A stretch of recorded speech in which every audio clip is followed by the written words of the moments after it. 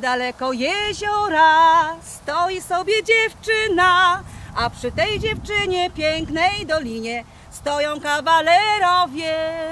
A przy tej dziewczynie pięknej dolinie stoją kawalerowie. Hej, hej, kawalerowie, nie zawracajcie dziewczynie w głowie. Hej, hej, kawalerowie, nie zawracajcie dziewczynie w głowie.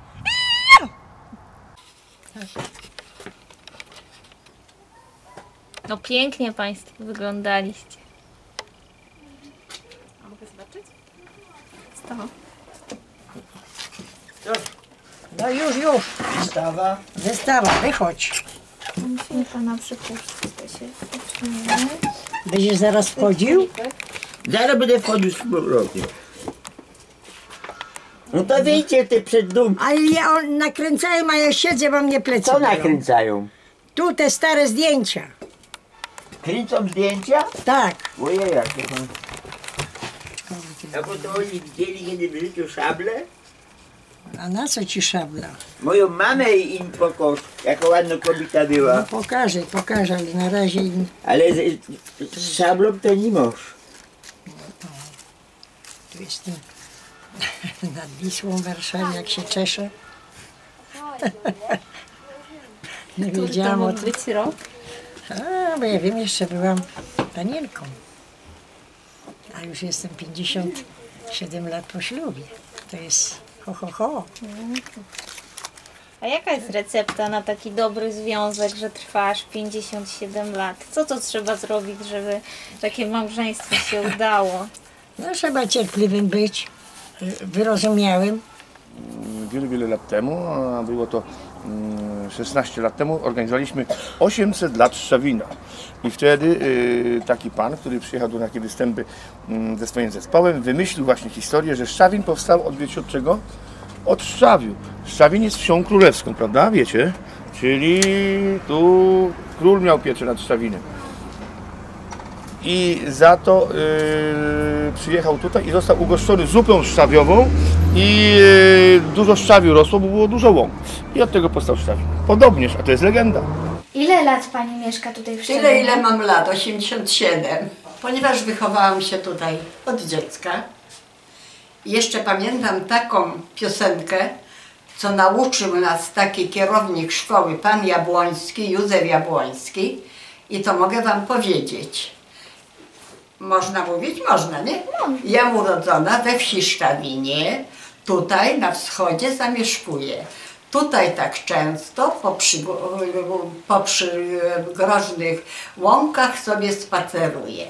Świeżego wówczas zażywam powietrza, mówiąc po prostu, lepszego mi już nie trzeba. Także ja jestem urodzona w Szczawinie. W Szczawin bardzo kocham, bardzo kocham tą okolicę, a w różnych miejscach już mieszkałam, ale powróciłam do swojego miejsca urodzenia, którym jest tutaj mój dom. Ja od dziecka byłam związana ze sklepem, ponieważ moi rodzice ten dom jak kupili i tutaj był sklep tam od frontu. Był sklep spożywczo-kolonialny. To znaczy spożywcze, kolonialne to tam herbata, takie różne wiecie rzeczy. I jeszcze do tego mój tatuś był rzeźnikiem, no to była i wędlina, i mięso. Oto ogólnie był taki sklep. I tak jak mówię, byłam wychowana w tym zawodzie, że tak powiem.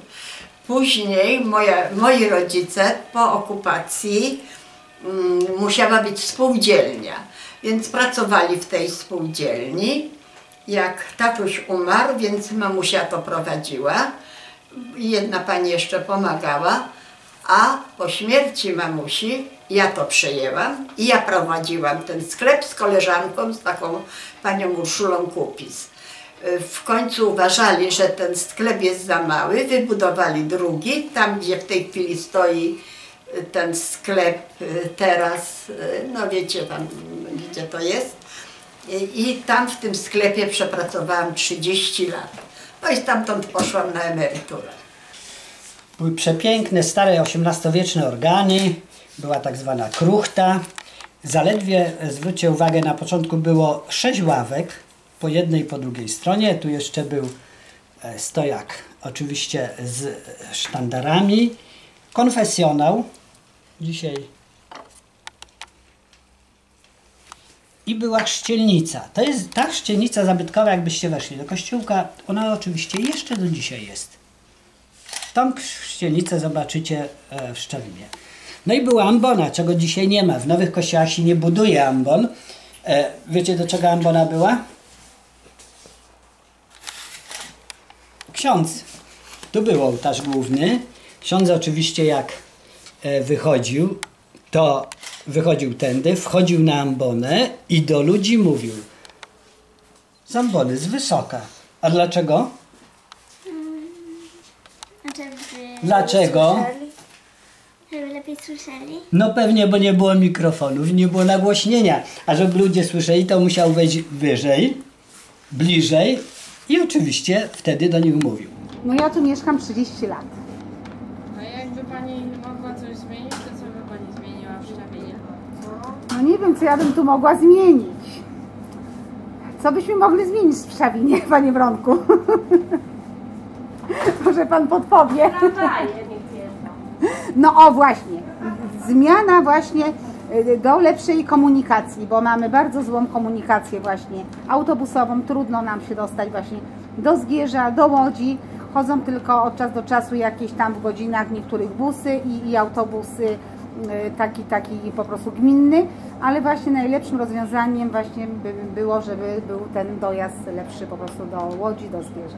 Co ja bym chciała zmienić? Moje dziecko, ja już nic nie mogę zmienić, bo wszystko, co było dobre, to przeżyłam. E, Znaczy, chciałabym, żeby w Polsce był spokój, żeby ludzie się szanowali, żeby nie było takiej zazdrości, która w tej chwili jest, bo dawniej byłam wychowana w przyjaźni, sąsiedzi byli przyjaźni, ludzie byli przyjaźni, a dzisiaj nie wiadomo o co jeden drugiemu jest wilkiem. No. No, Co bym zmienił w Szawinie? No co? Trochę nowoczesności bym wprowadził, jakąś kanalizację.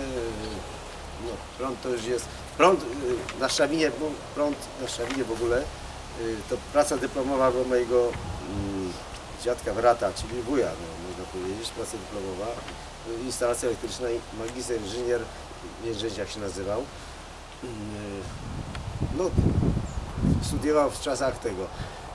Pierwszy tele, radio na Szczelinie tu powstało, no nie w tym domu akurat, w Szczelinie mój tata skonstruował w czasie wojny, miał 14 lat. Y, Załatwił mu części właśnie ten wujo z tego. Pierwszy telewizor powstał na Szczelinie tu, w tym domu, w 1958 roku przez mojego ojca zrobiony. Pierwszy samochód, syrena, ja miałem tu na Szczawinie i pierwszy traktor był w tym domu. Jest atmosfera jaka jest. Ludzie są zgodni, pomagają sobie. Jest mm, fantastyczna taka fauna. Są olszyny, jest zdrowe powietrze. Moje dziecko, które chorowało w Strygowie na zapalenie płuc, proponowało no, mi, żebym wyjechała z nim do koło brzegu. Ale w tym momencie się przeprowadziliśmy tu na Szczawin. Przez 7 lat, co pół roku systematycznie chorował na zapalenie płuc chłopiec. Przeprowadzając się tu, zmiana powietrza z suchego na wilgotne, może to olszyny to dają też, że dziecko nie chorowało mi już, dopóki było dorosłym i w tej chwili też nie choruje. To, że jest tutaj tak ładnie, zielono jest cicho, nie jeździ tak dużo samochodów. Auto jedzie. No, coś tam jedzie akurat. Co się podoba? No bardzo ładne okolice przede wszystkim, co las jest blisko. No koleżanka nam tu z tyłu tak podpowiada, że świeże powietrze, no, ale tak jak to na wsi, to tak. tak, to wszędzie jest świeże powietrze, ale generalnie piękna okolica. Zielono, kolorowo. Tak. Mili ludzie. W ogóle mi się podoba okolica jako las. Gospodarstwa tu są. No jak jest cisza, spokój bynajmniej, nie? A y, jak wygląda praca tutaj w gospodarstwie?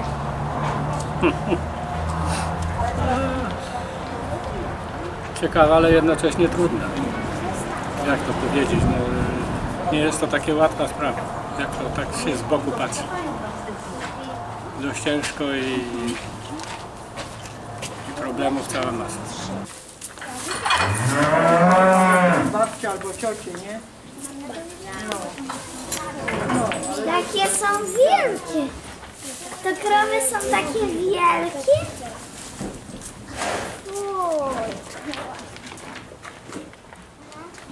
To jest kończy krowa. To jest basen na mleko. No, nagrało się? Tak? To jest basen na mleko. Y, Tutaj się mieści 550 litrów mleka i jak zaczynamy doić krowy, to się to włącza, to urządzenie i ono chłodzi do 3,5 stopni. My mamy w tej chwili 300 litrów mleka. Dzisiaj przyjedzie samochód z mleczarni łódzkiej i to mleko nam zabierze. Podniesie się pokrywę do góry, wkłada taką rurę, wyciąga samochód do cysterny i zabiera. Później się myje i znowu jak wieczorem się krowy doi, to znowuż się to urządzenie włącza i tam chodzi mieszadło i zawsze miesza to wszystko ciepłe mleko i co 15 minut się mieszadło włącza, a temperatura jest cały czas 3,5 stopnia, utrzymuje temperaturę mleka.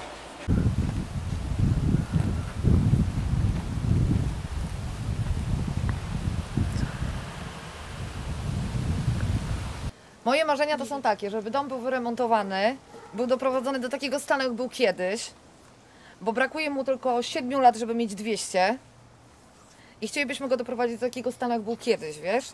Był kiedyś dworkiem. Mm, Czy zna Pani historię domu? Troszeczkę mogę Wam opowiedzieć. Wiem, że podczas wojny ten pan, który odziedziczył ten dom, który dostał, pracował, yy, tak jak teraz są taksówki. Jeździł taksówką, miał wypadek i dlatego, że miał wypadek, a jeździ, woził kogoś, kto był bardzo dobrze usytuowany, był jakimś mundurowym człowiekiem, w rozliczeniu za tę tragedię dostał ten dom. No i później, jak dostał już ten dom, to go powolutku sobie tam remontował. No i później przechodził ten dom z pokolenia na pokolenie. A my go mamy od ich prawnuczki. A jakie ma Pani marzenie? Marzenia. Oby było tak, jak jest, oby nie było gorzej. Być szczęśliwym i radosnym, pogodnym, żeby wszyscy byli ludzie mili dla siebie. No i co? Uśmiechnięci. O, tak jak my teraz. I żeby dzieci były grzeczne. Moje marzenie teraz jest takie, żeby szczęśliwie jeszcze do, dodać tych, dożyć tego sędziwego wieku, który właściwie już mam, żeby moim dzieciom się powodziło dobrze, żeby moim e, wnukom powodziło się dobrze. To jest dla mnie moje marzenie. Nie wiem, no dobra praca, e, żeby wychować dzieci na mądre dzieci. E, Zdrowie, żebym była tylko zdrowa. Marzenia? Troszkę się kasy dorobić, zdrowia, żeby było. No i co? Szczęście i miłość, wszystko, co, co należy. No, ale mówię, no, naj- najlepsze, jest, najważniejsze jest zdrowie. No.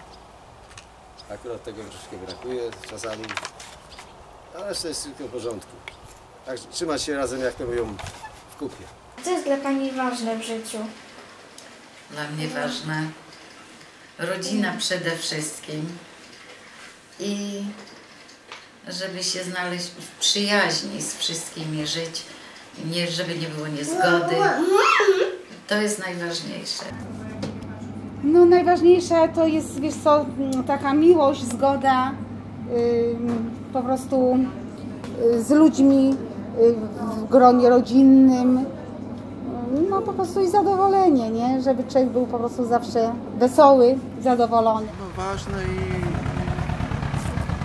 i życzę każdemu, aby, aby chyba robili to, co chcą w życiu robić, bo wtedy nie jest ważna taka bardzo pensja, nie jest ważne wiele innych spraw, tylko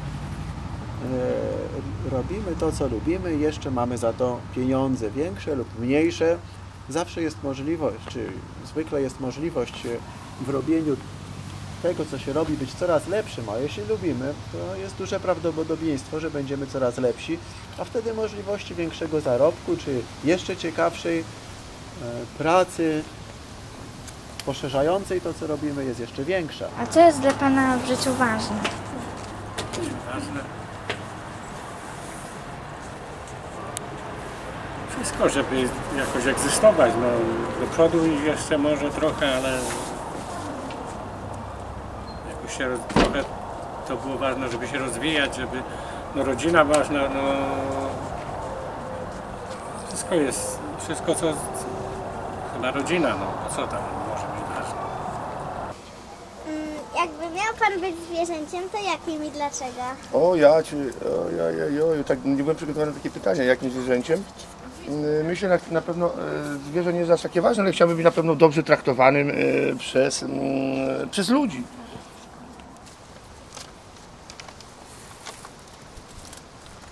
Nie wiem, może orłem, żeby widzieć wszystko z góry, jak się, jak się leci, bo nigdy nie, nigdy nie widziałam y, z góry.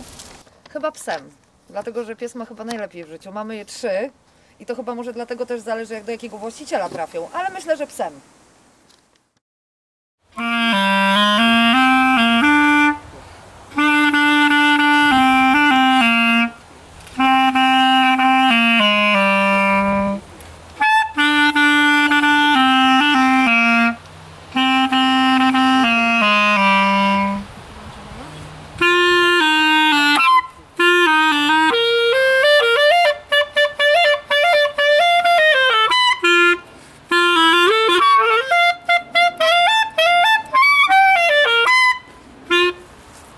Długo się nie graj dlatego.